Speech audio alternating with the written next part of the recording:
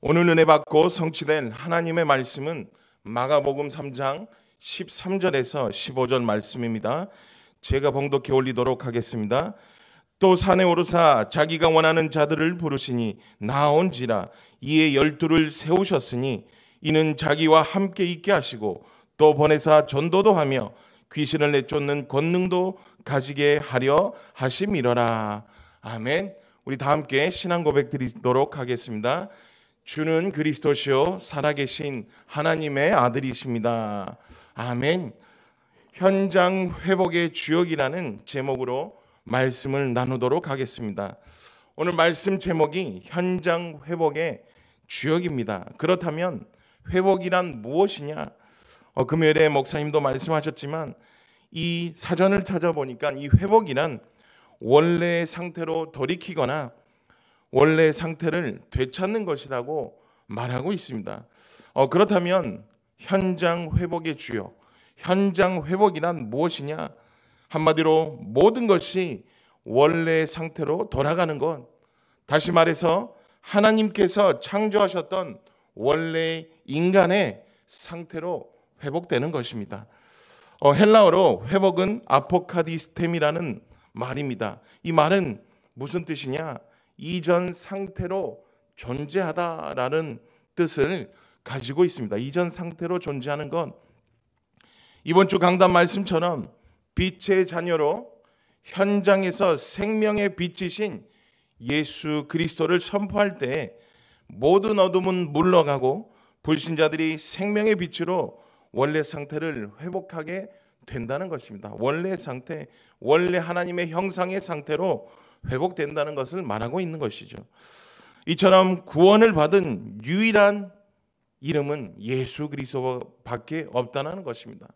그렇기 때문에 이 유일한 이름인 예수 그리스도를 선포하고 우리들이 보고 들은 것을 말하는 절대 증인의 삶을 살아야 한다는 것이죠. 어, 다시 말해서 잘못 각인되고 뿌리 내리고 체질화되어 있는 나 중심, 물질 중심, 성공 중심을 오직 예수 그리스도, 오직 하나님의 나라, 오직 성령 충만으로 우리가 바뀌어야 된다는 것입니다. 그래서 생명 충만, 예수 그리스도 오직 하나님의 나라, 오직 성령 충만으로 바뀌어 교회를 살리고 현장을 살리며 시대를 살리는 주역으로 세워져 현장에 많은 분들이 유리방황하는 이 모든 사람들을 하나님의 원래의 모습으로 하나님의 형상으로 회복시켜야 하는 우리들에게 주어진 미션이 분명히 있다는 것입니다. 어, 그래서 이분들이 오직 하나님만 찬양하며 또 오직 하나님만 경배하며 또 오직 하나님만 바라보도록 해야 한다는 것이죠. 어, 그렇다면 우리가 어떻게 이렇게 할 수가 있느냐? 어떻게 해야지만 이런 원래 상태로 이 불신자들 또 현장에 창세기 3장, 6장, 11장에 모든 사람들을 회복시킬 수 있느냐? 그것은 분명히 하나님께서 그 언약의 말씀을 성취하시기 위해 매주일 강단 메시지를 통하여 우리를 인도하고 계시다는 것입니다. 강단 메시지. 그러므로 다른 것 할 것이 없어요. 예원의 모든 성도님들은 강단 메시지 하나님의 말씀으로 믿고 따라만 가면 어두운 현장에 그리스도의 빛이 임하며 모든 흑암은 반드시 물러나고 그 현장에 말씀 성취의 축복을 누리는 오늘 제목처럼 이 시대의 주역이 현장 변화의 주역이 분명히 된다는 것입니다. 그렇기 때문에 어떤 것도 흔들리거나 우리가 실패할 것도 없습니다. 그래서 오직 말씀만 따라가며 그리스도만 따라가시는 현장 회복의 주역들 되시기를 기도드리겠습니다. 어, 그래서 오늘 본문 말씀처럼 하나님께서 주시는 이 권능과 신분으로 현장에서 전도도 하며 귀신을 내쫓는 현장 회복의 주역으로 견고하게 서시는 절대 제자들 되시기를 예수 그리스도 이름으로 축복드립니다. 첫 번째로 전도자의 회복입니다. 마가복음 3장 13절입니다. 또 산에 오르사 자기가 원하는 자들을 부르시니 나온지라. 아멘. 오늘 본문 말씀을 보시면 예수님의 사역이 본격적인 단계로 들어선 것을 우리는 확인할 수 있습니다. 어, 바로 예수님이 원하는 자들을 부르시고 있죠. 원하는 자들을 부르신다고 말하고 있습니다. 그리고 예수님의 부름을 받은 자들의 반응은 어떠합니까? 예수님의 부르심에 모든 것을 버려두고 즉시로 응답받고 예수님을 따라 나섰다는 것입니다. 어, 이것처럼 하나님의 일을 위해서 즉시로의 순종이 너무나 중요하다는 것이죠. 그리고 이 즉시로의 순종이 필요함을 본문을 통해 우리는 볼 수 있습니다. 다시 말하자면 직시로의 순종이 중요한 것은 하나님의 일은 우리가 하는 것이 아니고 우리가 하나님께서 부르실 때 순종함을 통하여 우리를 하나님께서 우리를 사용하신다는 것입니다. 어, 여기서 중요한 것이 무엇이냐? 예수님께서 자원하는 자를 받으신 것이 아니라 예수님께서 원하는 자를 불러 세우셨다는 것입니다. 어, 이것처럼 예수님께서는 자기가 원하는 원하는 자들을 부르신 이유가 바로 이들을 통하여 현장 회복의 주역으로 사용하시기 원했기 때문인 것입니다. 어, 그렇기 때문에 여기 계신 우리 모든 성도님들도 또 우리 예원의 모든 전도자분들도 각자의 달란트에 따라 하나님께서 저희들을 부르실 때 각자 여러분을 부르실 때 즉시로 응답하며 순종하시는 현장 변화의 주역들 되시기를 함께 기도드리겠습니다. 어, 그러면 오늘 제목처럼 현장 회복의 주역으로 우리가 무엇을 해야 하느냐?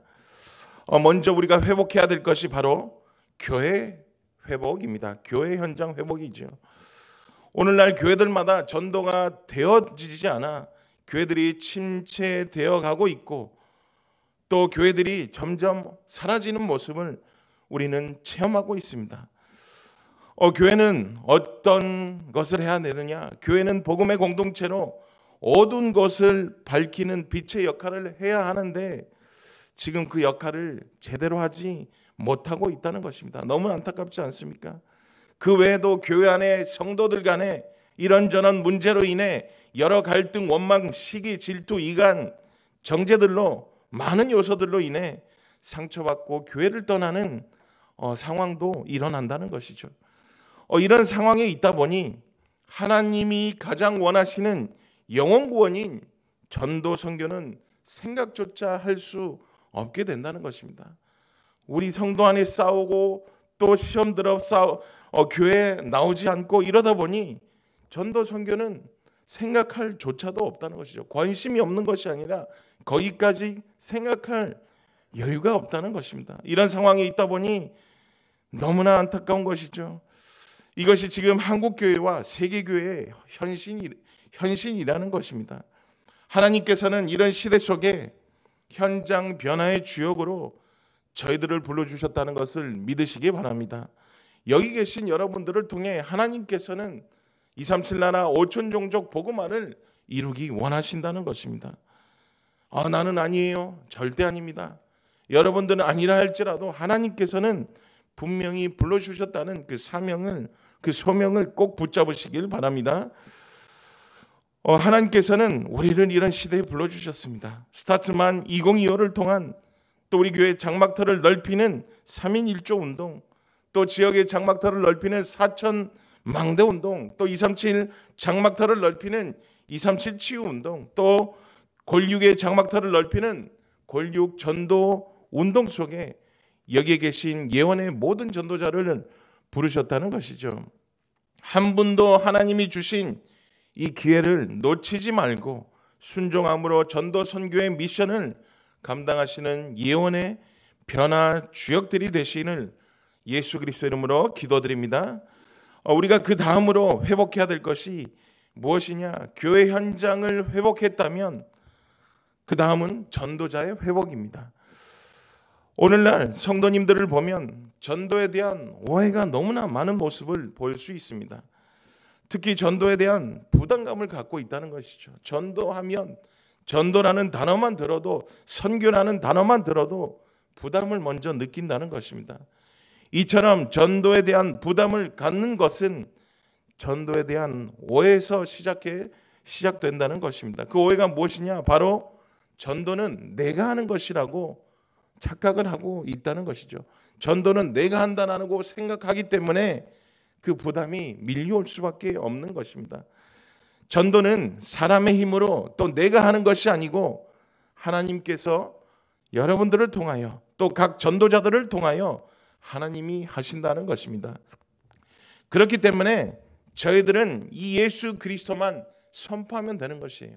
부담 가질 필요가 없어요. 우리가 강단 말씀을 통해 받은 그 은혜를 선포하는 건 선포만 하면 그 다음은 하나님께서 하신다는 것입니다. 오늘 본문에 보시면 예수님이 제자를 부르신 목적을 분명히 말하고 있습니다. 마태복음 4장 19절에도 보면 나를 따라오너라 내가 너희를 사람을 낚는 어부가 되게 하리라고 하고 있고요. 오늘 본문 말씀에 또 산에 오르사 자기를 원하는 자들을 부르시니 나온지라 이에 열두를 세우셨으니 이는 자기와 함께 있게 하시고 또 보내사 전도도 하며 귀신을 내쫓는 권능도 가지게 하려 함이라라고 분명히 말하고 있습니다. 이것처럼 전도는 우리의 열심으로 하는 것이 아니라 구원받은 여러분과 또 여러 여러분 같은 전도자들을 통해서 하나님께서 하신다는 것이죠. 하나님께서 우리를 사람 낚는 업으로 부르셨고 이 현장에 보내서 전도도 하며 귀신을 내쫓는 권능을 분명히 주셨다는 것입니다. 어, 그렇기 때문에 유일하게 우리들이 할 것이 무엇이냐? 오직 말씀 붙잡고 전도 석교의 축복을 누리고 현장으로 나아가야 하는 것입니다. 그것밖에 할 것이 없습니다. 오늘 말씀을 통하여 우리들이 가는 모든 현장에 나의 모든 생각을 내려놓으시고 나의 생각 또 나의 기준 모든 판단을 내려놓으시고 오직 구원 얻기로 작정된 그 한 영혼을 바라보며 어떠한 것에도 흔들리지 않는 빛의 자녀의 정체성으로 언약을 붙잡고 하나님께서 우리를 통해서 하시는 그 전도와 선교를 체험하며 전도자 역할을 감당하시는 현장 변화의 주역들 되시기를 예수 그리스도 이름으로 기도드립니다. 두 번째로 전도 현장 현장의 회복입니다. 마가복음 3장 14절 15절입니다. 이에 열두를 세우셨으니 이는 자기와 함께 있게 하시고 또 보내사 전도도 하며 귀신을 내쫓는 권능도 가지게 하려 하심이러라. 아멘. 예수님께서는 12명의 제자를 세웠다고 말하고 있습니다. 오늘 본문에 예수님께서는 이 열두 제자를 세우신 목적을 세 가지로 말하고 있습니다. 먼저 자기와 함께 있게 하시고 또 보내사 전도도 하며 또 세 번째로 귀신을 내쫓는 권능도 가지게 하려 함이 싫어라라고 분명히 말하고 있습니다. 이 말이 무엇이냐? 예수님은 공생의 3년 동안 제자 훈련을 위해 많은 시간을 보내셨습니다. 그렇기 때문에 예수님에게는 제자 훈련이란 아주 중요한 사역이었죠. 제자 제자를 키우는 건 첫 번째 목적이 무엇이냐? 예수님과 함께하며 훈련을 받도록 하기 위함이었습니다.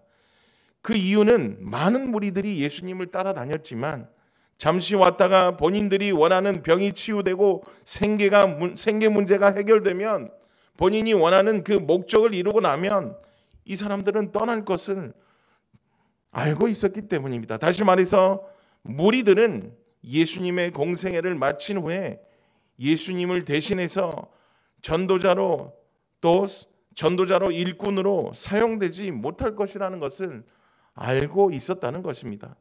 그렇기 때문에 예수님은 제자들과 함께 다니며 예수님의 삶을 그대로 본받도록 그 어떤 방법과도 비교할 수 없는 훈련을 예수님의 삶을 통해 보고 가르쳤다는 것입니다. 또 보고 배웠다는 것이죠. 어, 이것처럼 예원의 모든 성도님들도 오직 말씀을 통하여 먼저 빛의 자녀라는 나의 정체성을 회복하시며 복음의 비밀을 먼저 우리가 알고 누리며 현장에 선포하시는 절대 제자들이 되어야 한다는 것입니다. 먼저 이 복음, 이 예수 그리스도의 비밀, 예수 그리스도로 우리가 예수 그리스도로 구원받는 또 우리가 빛의 자녀라는 그 언약을 우리가 먼저 알고 누려야 한다는 것입니다. 어, 또두 번째 목적은 일정한 훈련이 끝난 후에 그들을 내어 보내어 전도도 하기 위함이었습니다. 이 둘째가 제자들의 중심적인 사명이었습니다. 하나님의 나라를 확정해 나아가기 위한 또 장막터를 넓혀 나아가기 위한 사역이었던 것이죠. 어떠한 상황과 사건 속에서도 흔들리지 않고 오직의 믿음을 가지고 예수 그리스도를 우리의 각자의 현장에 선포해야 한다는 것입니다. 그 이유가 어디 있습니까? 요한복음 3장 16절에 이렇게 말하고 있습니다. 하나님이 세상을 이처럼 사랑하사 독생자를 주셨으니 이는 그를 믿는 자마다 멸망하지 않고 영생을 얻게 하려 하심이러라. 아멘. 오직 복음만이 오직 예수 그리스도를 통해서만 모든 문제와 죄와 사망에서 자유롭고 영원한 생명을 얻을 수 있기 때문인 것입니다. 그래서 우리가 나가서 전파해야 되는 것이죠. 그리고 전도하기 위해서 꼭 해야 할 것은 기도의 비밀을 알고 실제적인 기도를 해야 합니다. 형식적인 기도가 아니라 정말 이 현장에 실제적인 기도를 해야 한다는 것이죠. 왜냐? 기도를 아무리 많이 해도 전도 선교와 상관없는 기도는 아무 의미도 응답도 없다는 것입니다. 그래서 우리가 이 전도 선교의 확신에 대한 기도가 너무나 중요하다는 것입니다. 오늘 내가 이 현장에 하나님께서 예배해 놓으신 그 절대 제자를 만난다는 그 확신의 기도, 또 만나게 해달라는 그 확신의 기도가 너무 중요하다는 것이죠. 특별히 이번 주 우리 대만 캠프와 멕시코 캠프가 진행 중에 있습니다. 우리가 비록 가지는 못하지만 우리가 이 현장에서 멕시코 현장과 또 대만 캠프 현장을 놓고 우리가 중보기도 할 때 하나님의 그리스도의 빛이 그 현장에 임하는 줄로 확신합니다. 그렇기 때문에 우리가 이 237 나라 5천 종족 보고만 하는 이 언약을 붙잡고 기도하시는 예언의 전도자분들 되시기를 기도드리겠습니다. 어, 예수님이 예수님이 제자를 부르신 세 번째 목적은 귀신을 내어 쫓도록 하기 위함이었습니다. 이것은 복음 전도를 위해 부여된 수단이었었죠. 이것은 당시 상황에 복음 전도를 위해 필수적이었던 것입니다. 제자들을 따르는 표적으로 인해 복음을 확증할 수 있었기 때문인 것입니다. 그래서 전도자들은 말씀으로 현장을 볼 수 있는 영적인 눈을 열어야 하는 것입니다. 영적인 눈. 복음의 비밀을 알고 누리고 기도의 응답의 축복을 누리게 되면 우리의 영안이 열리면서 다른 사람이 보지 못하는 것을 보게 된다는 것입니다. 이 영적인 눈을 가지고 우리가 이 현장을 보게 되면 많은 불신자들이 사단에 만들어 놓은 올무인 창세기 3장, 6장, 11장에 자기 중심, 물질 중심, 성공 중심에 매여 있고 사단이 만들어 놓은 함정인 사도행전 13장, 16장, 19장에 무속 문화와 점술 문화와 우상 문화에 빠져 있는 모습을 우리는 보게 되는 것입니다. 이 문제는 인간의 힘으로는 절대 빠져나올 수 없는 이런 상태에 있는 것이죠. 우상 숭배를 하며 정신적으로 시달리고 마음의 상처와 육신의 질병과 경제 어려움으로 시달리며 살다가 죽으면 지옥으로 들어가고 거기서 끝나는 것이 아니라 이 영적 문제가 이 고통이 우리 후대들에게도 그대로 전달될 수밖에 없는 운명에 묶여 살고 있는 많은 사람들을 우리의 주위에서 만날 수 있다는 것입니다. 어, 이런 자들에게 영원한 생명인 예수 그리스도의 빛을 비추어 생명이 살아나는 축복을 체험하는 우리 예원의 모든 전도자분들 되시기를 예수 그리스도의 이름으로 기도드립니다. 그래서 우리가 현장으로 나아가요. 우리 결론으로 오늘 하나님께서는 이 사명을 저희들에게 감당하라고 저희들이 감당하라고 말씀하고 계십니다. 하나님께서는 우리들을 각자의 달란트대로 한 분한 한 분을 부르신 줄로 확신하게 믿으시기 바랍니다. 사람이 가지 못하는 곳, 가지 않는 곳, 그곳에 가야 하는 것이죠. 그것이 바로 우리들의 땅끝인 것입니다. 불신자들이 복음을 듣지고 듣지 못하고 죽을 수밖에 없는 그 이유가 어디에 있습니까? 바로 그 현장에 전도자가 없기 때문인 것입니다. 로마서 10장 14절에 보면 그런즉 그들이 믿지 아니하는 일을 어찌 부르리요 듣지 못한 일을 어찌 믿으리요 전파하는 자가 없이 어찌 들으리요 정말 오늘 이 말씀을 생각하면서 우리 예원의 성도님들이 이 시급성을 가지고 현장에는 복음을 전파할 수 있는 하나님께서는 우리를 보내어 능력을 주시고 또 귀신을 내쫓는 또 복음을 선포하라는 그런 권능을 주셨는데 가는 자가 없기 때문에 현장에서는 죽을 수밖에 없는 영원히 죽을 수밖에 없는 그런 상태로 빠지게 된다는 것입니다. 어 그래서 우리가 이 시급성을 가지고 이 현장 하나님의 빛의 자녀라는 이 정체성을 회복하시며 오늘도 각자의 현장에 어두운 현장에 그리스도의 빛을 비추시는 비추시어 흑암의 현장에 갇혀 영원히 죽을 수밖에 없는 사람들을 빠져나오게 하는 현장 회복의 주역들로 견고하게 세워지시기를 예수 그리스도 이름으로 축복드립니다.